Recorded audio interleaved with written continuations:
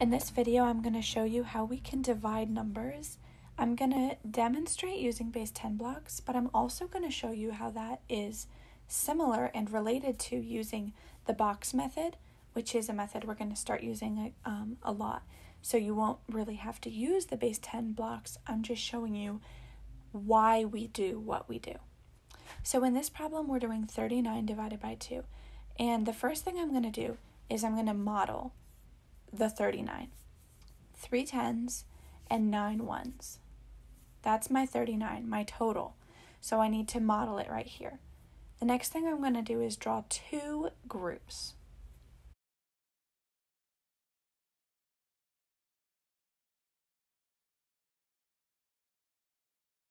Here I'm just writing the problem um, in my box model, 39 divided by 2. I'm going to start dividing. I start with my tens. I did two um, of them because I knew that I could put one in each of those groups.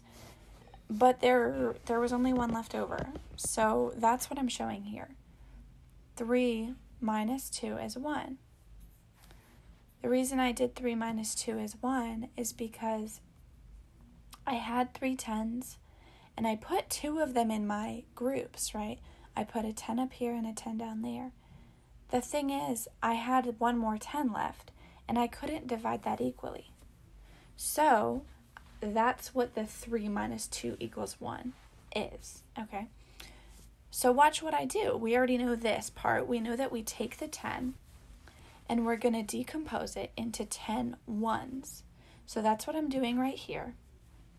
But watch, this is cool. In the model, what I do is I take that one right there and I'm actually going to draw an arrow and then I'm going to write a 1 right there in front of the 9 to show that now I have 19 ones. And you can see here, I do. I have 19 ones. See all those ones?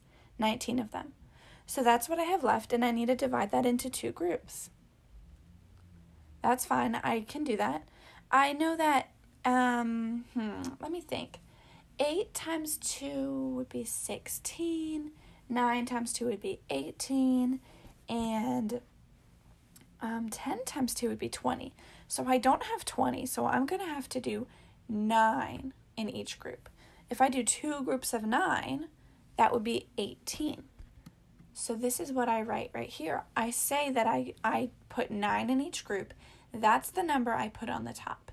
The fact that I can put nine in each group and I have enough means I need to put nine on the top. That's how many are in each group. Okay, so there's my nine. And then I have to do how many all together did I just do? It was nine times two, right? Nine times two. So I have to multiply those because that's how many I put into the groups, 18 of them and I still had one left over. So watch, that's why I subtract. 19 minus 18 gives me just one left over. And we've already talked about the leftovers, and we know that leftovers are remainders, right? So we saw that in our model, that there was one that we couldn't do. So what you do in the box method is you draw another arrow up to that spot right there with the R, and you just rewrite it. There's a remainder of one. And you can see again that one right here. That little one, he he's left over.